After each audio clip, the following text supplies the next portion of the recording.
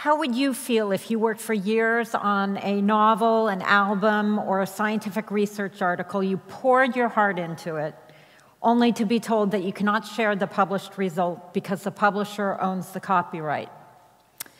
How would you feel if the results of a clinical trial for a medicine that could help somebody that you love were not accessible to you because you can't afford the download uh, from the internet? I've been dedicated to the advancement of open access to scientific knowledge most of my professional life. I can testify that the tension among a scientist's desire to put her results in the public domain, the publisher's need to maintain a sustainable business model, and the public's desire and right to access knowledge is not a new thing. But I can also tell you, as a card carrying capitalist, even an MBA, that it falls to us, the true believers, that confront obstacles to a sustainable model of open access, that this uh, is embraced enthusiastically, not, ju not just by the converted, but by those in the real world. Our job is to convince them. And the collision of interests and the discussion surrounding them is no longer a topic limited to professional scientists and publishers. In the age of citizen science, where anyone with a smartphone can collaborate and participate in studies ranging from protein modeling to species population dynamics anywhere in the world, the discussion involves everyone. On this point, I know I'm preaching to the choir. Each and every one of us in the Wikimania community uh, connects people to information. That engagement, in turn, creates community and builds knowledge. In today's world, there's no reason to limit access to knowledge and every reason to free it. As organizations, PLOS and Wikimedia share a common belief in the self propagating power of collective knowledge. Both have grown out of communities that recognize the exponential possibilities that internet connectivity provides and see the imperative to exploit the potential for no less than the advantage of humankind. But the basic shared human instinct to do good only works to our advantage as far as it goes. We must simultaneously recognize both who our real end users are and understand how to attract them to participate. Because it's not just the authors whom we ultimately need to convince. At the end of the day, authors will rationally do what they must do to earn appointment, promotion, grants, awards, status, etc. Just as important, we must understand and accommodate the needs and preferences of the people and institutions who are making value judgments about the scientists to determine those same grants, promotion, tenure, etc. Only in this way can we transform good intentions into something larger and more impactful. By increasing access, usability, and uh, discovery of information while maintaining integrity and ensuring appropriate credit and sustainability, we push the boundaries of digital technology to greater collective knowledge. It is, after all, collective knowledge that pushes innovation and transformation. Nowhere has this transformation been more rapid than in the area of digital communication, as you know. The vision of PLOS is to fully realize the benefits of digital technology to transform scientific communication. This transformation will encourage collaboration and accelerate scientific discovery for the benefit of all, regardless of geography or socioeconomic status. In order for the benefit uh, to reach truly everyone, scientific discovery must be free and open. This may sound obvious to us in this community, but in fact, only 12% of publicly funded research in uh, science, technology, and medicine is available in this way. The rest is uh, behind some form of access barrier. In our world, that usually means a subscription barrier. As an OA publisher, PLOS provides rapid access to original scientific research without those barriers. And not just the research itself, but also real time access to the data that underlies the research, as well as the dialogue surrounding the research through social media and, and press coverage. Articles published in PLOS are supported by peer reviewed evidence provided in both the research article itself and referenced work within the article. All articles are peer reviewed before publication and monitored post publication for impact and influence on the community through article level metrics. As an information and knowledge aggregator with a global force of engaged citizens, Wikipedia curates existing information from OA organizations such as PLOS to create new content and knowledge.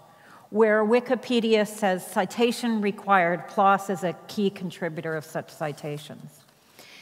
The science community in which PLOS operates as a publisher and the open source community in which Wikipedia operates as an aggregator are two distinct but complementary parts of an enormous endeavor to make available the vast sum of knowledge uh, of infinite communities of people.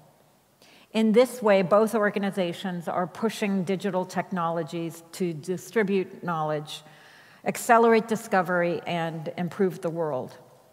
The challenges that remain for PLOS are to get scientifically accurate information out to the public as rapidly as possible in a form that's accessible, usable, actionable, and indeed indispensable. However, access without subscription or embargo barrier is necessary, but it is not sufficient. Technology and enlightened publishing policy must also drive mineability and reusability of data across media. Uh, Daniel Mietchen, who's here this week, an active Wikipedian, and his group created the Open Access Media Importer, an automatic tool that crawls scholarly publication databases, uh, including PubMed Central, for supplementary audio and video materials. They upload this content to Wikimedia Commons if they are available under appropriate reuse licenses. This brings rich, peer reviewed content into Wikipedia, not just from PLOS, but from all OA sources. Conversely, Wikipedia is the eighth largest source of traffic through Crossref's digital object identifier lookup service, covering 65 million journal articles. This reveals how often research articles are referenced in and accessed from Wikipedia pages. Both the Open Access Media Importer and the Crossref Lookup Service are powerful tools that help users find the information they need. Wikipedia offers researchers dynamic content creation and management tools that enable closer collaboration during the research process. These tools are fostering increased motivation for academics to contribute their scholarly, scholarly research to Wikipedia. PLOS is developing new initiatives and models to engage the community in the continuous assessment of published scientific research, which has both great potential to further speed access to research and critically to improve the quality of peer review by transitioning from few reviewers to many. PLOS has a golden opportunity to leverage the work done by Wikipedia in this area in order to advance technology to drive this change. Of course, innovative tools are only part of this picture. Their success depends on community and collaboration. For example, the PLOS Wikipedia Pages project leverages the capability of Wikipedia to expand the reach of research articles and redefine what's published. Authors come to PLOS Computational Biology with content suggestions, and together with the PLOS editors, produce a trustworthy, peer reviewed article for the journal through an open review process that is also posted to Wikipedia for community updating. There is a mutual benefit to new content. Wikipedia is made more robust through the incorporation of peer reviewed articles, and PLOS authors benefit from the increased reach of their work. PLOS also must consider the path that people take from a web search through Wikipedia into the research literature. PLOS and Wikipedia can work together to help users find scholarly material from Wikipedia entries and to ensure proper citation and linking. Making platforms and systems interoperable will help this understanding will drive continuous pathways that different communities, researchers, educators, students, funders, policymakers need to find what matters to them. To achieve this, open content and open data are critical. PLOS collaborates with Dryad, Figshare, and Crossref to move toward the interoperable systems to store content and make it more accessible, more discoverable, and to ensure fair attribution. PLOS was one of the early OA scientific publishers to take big risks to provide a pathway to unencumbered information flow. We remain determined to rise to our responsibility to innovate and experiment in these areas to ensure not only access, but usability, mineability, transparency, and discovery of open content, and how it leads to collaborations that are good for science and good for the public. The OA principle of immediate and free availability is, gen- is a generally recognized value. In contrast, the principle of reuse without restriction is generally not readily obvious to most users. Both of these values are already integral to the wiki community, uh, and they're part of the wiki norms of sharing knowledge. Because of the still modest uptake of OA publishing by the science and medicine communities, PLOS continues to emphasize these values to our community. And the free flow of information is especially critical in biomedicine, where immediate access to research can mean literally the difference between life and death. Just this spring, the UK Public Health Minister undertook an independent review of standardized packaging of tobacco and cited a PLOS medicine paper that systematically dismantled the tobacco industry's misrepresentation of scientific data. Inclusion of this freely available article in the review contributed to the conclusion that if standardized packaging were introduced, it would very likely have a positive long term impact on human health.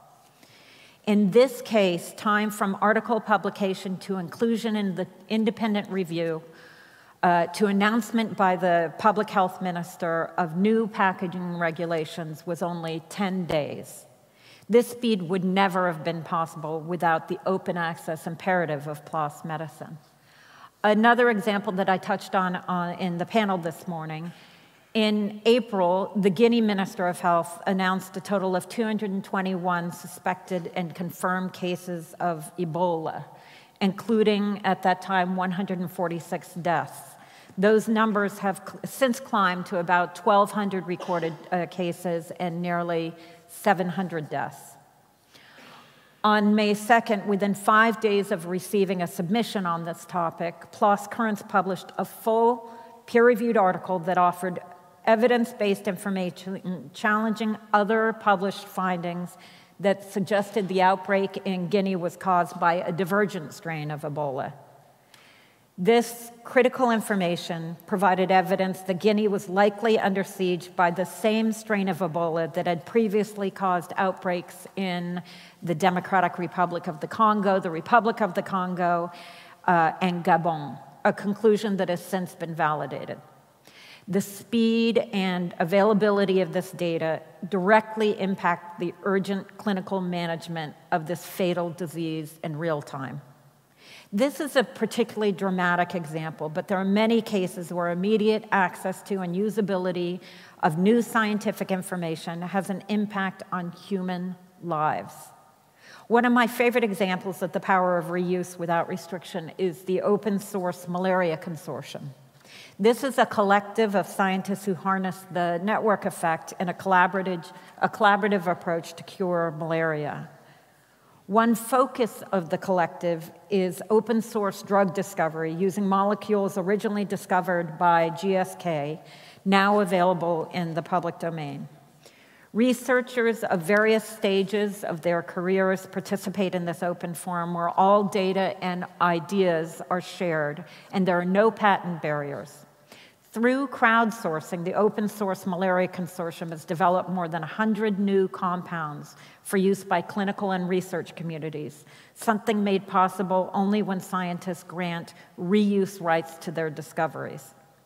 The very creation of PLOS more than 10 years ago by visionaries who saw the value and the necessity of open access publishing was foundational to starting to realize the potential of scientific publishing uh, as well as the business case for sustainability. PLOS demonstrated the important proof of principle that journals can exist as viable businesses in the open access environment if they provide an innovative and efficient platform and publishing experience for authors and readers. Growth in open access continues as more individuals and society as a whole benefit from the unrestricted exchange of information, and as more publishers join PLOS in demonstrating that OA publishing can be self sustaining as a business. In fact, between 2008 and 2013, there was a 183% increase in the number of open access journals. PLOS expects that there will be continued growth of open access adoption in response to the convergence of distinct pressures from funders, governments, institutions as they dial up their open access mandates, and from researchers who increasingly demand open access to others' research and that their own research be available to others without barriers. We are in a completely different world, obviously, than when print publishing of scientific research was standard and introduced 300 years ago. Access and usability, together with innovation and technology, foster online communication, broad dissemination of knowledge, and continuous assessment and improvement to work.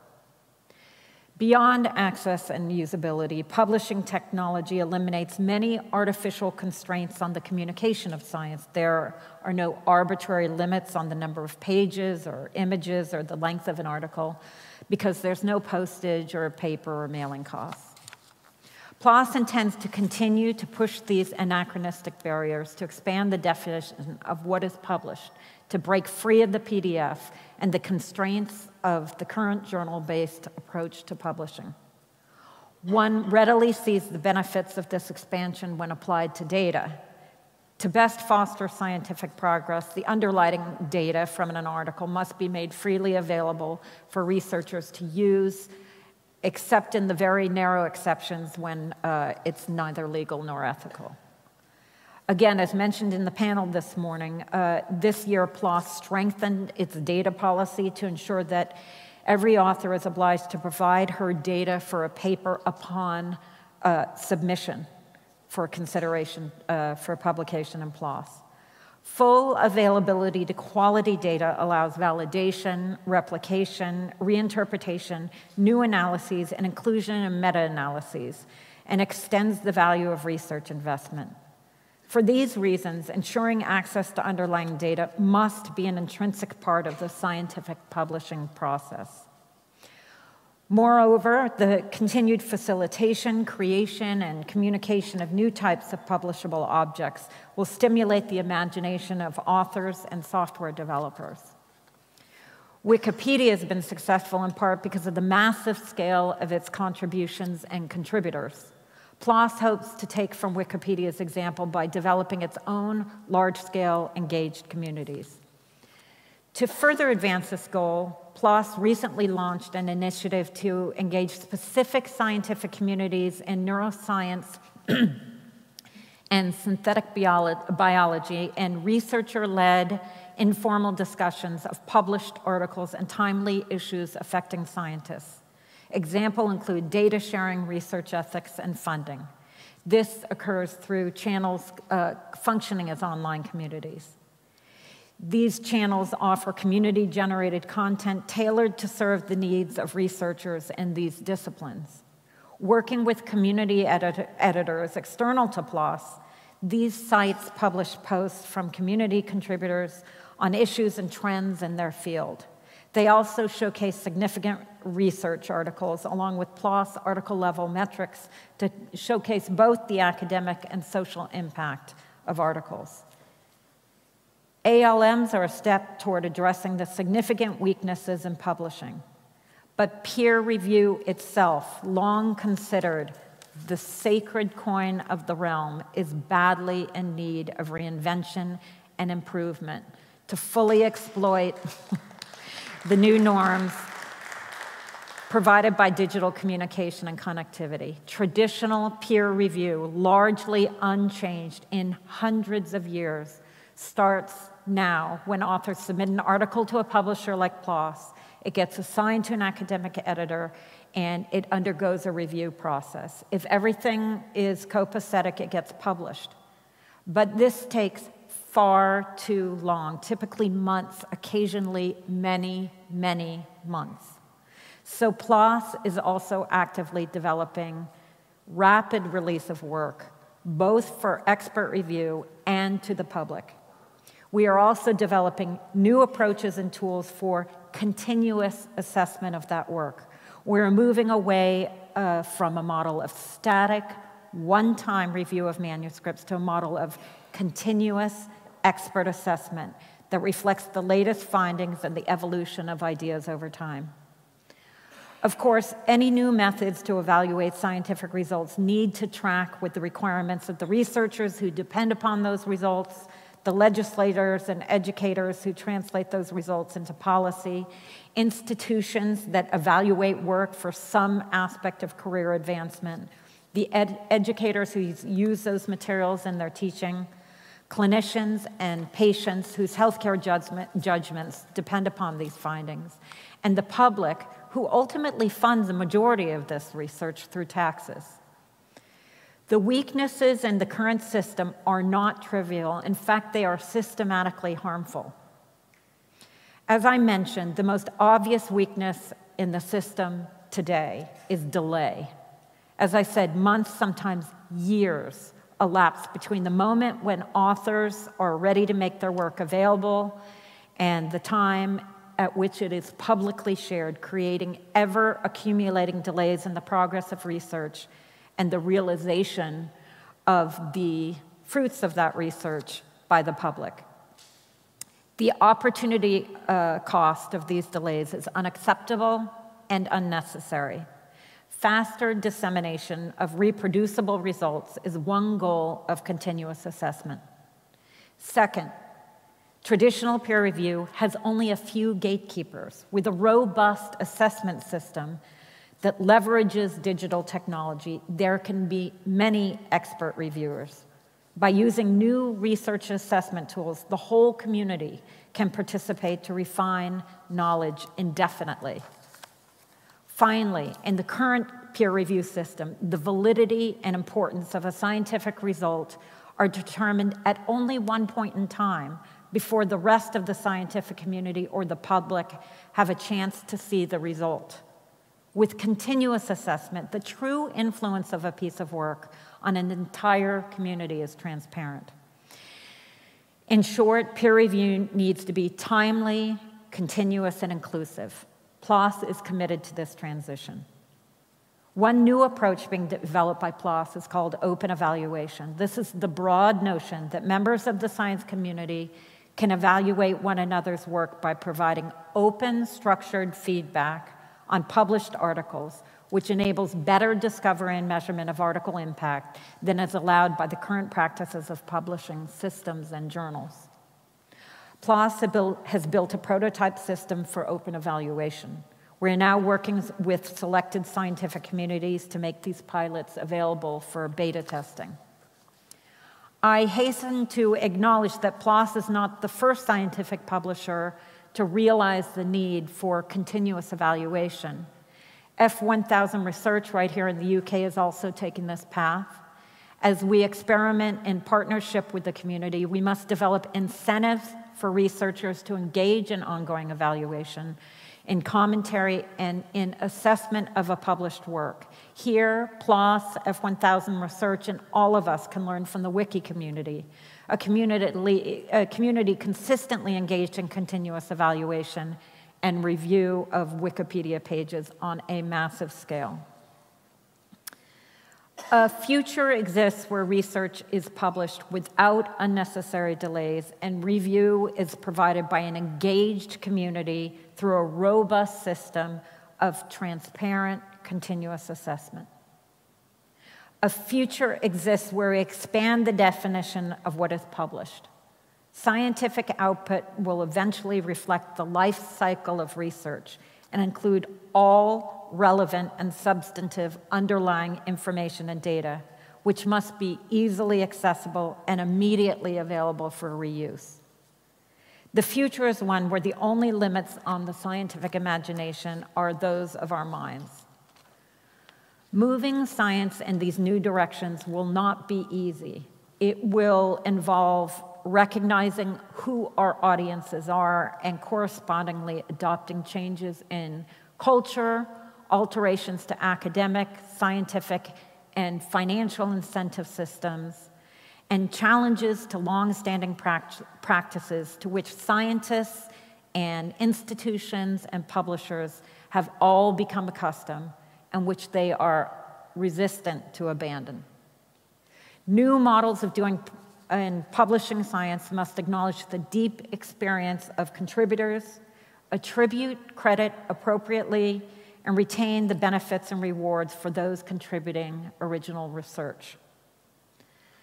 PLOS has already proven its ability to drive fundamental change in scientific communication. With a clear vision, sufficient dedication, and creativity and energy to execute that vision, PLOS is positioned to lead scientific publishing in these new and critically important directions. PLOS and Wikimedia share a common goal an open web where communities come together to create, craft, use, reuse, and advance critical knowledge. PLOS and Wikipedia have come to that from different places and with different communities and bring different perspectives. And jointly, we are challenged to create and provide access to knowledge for the world as a whole not just for academic researchers and not just for professional scientists, not just for English speakers or residents of North America or Europe, but for every patient, every citizen scientist, every developer, every coder, every policymaker, every voter, farmer, industrialist, parent, child, for every person in the world. PLOS cannot do this alone, nor can uh, Wikipedia. But if we continue to be inspired by one another, to learn and observe and improve, then we will have advanced towards a truly inclusive and accessible commons for human collaboration and knowledge. Thank you.